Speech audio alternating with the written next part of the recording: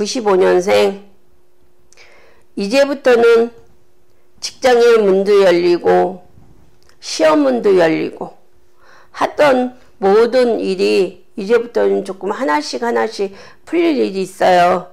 그러니까 직장에 원서를 내시고 면접을 보시고 뭘 하시더라도 용기 잃지 마시고 제대로 잘 해보세요. 그러면 이달 말 넘어서면서부터 내가 좋은 성사가 있고 웃을 일이 있답니다. 힘 잃지 마시고 용기 내시기 바랍니다. 83년생 집안에 경사가 있어요. 식구가 늘어요.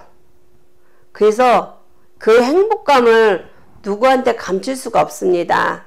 생각지도 않은 식구가 늘면서 집안 가정으로 화목하고 신나는 일이 생기니까 그 신나는 일 끝에도 또 나쁜 일이 생길 수도 있으니까 조심하시고 좋은 일만 많으실 겁니다.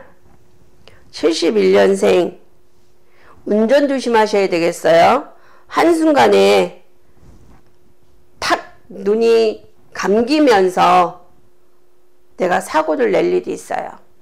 근데 큰 도로가 아니고 이면 도로에서 내가 잠깐의 실수로 인해서 생길 수 있는 일이니 항상 이번 달은 먼 길 가실 때 운전 꼭 조심하시고 하셔야 될 겁니다. 그래야 집안도 편안하고 괜찮겠어요. 59년생 이동할 수가 있고 집이 이사 갈 일이 있어요. 근데 한 동네에서 한 동네로 간다 그러면 별로 큰 의미가 없습니다. 더 안 좋아요. 그럴 때는 뭔가를 옛날 어른들은 그랬죠. 이 집에서 이 집을 가면 무슨 방법을 하고 다니셨어요.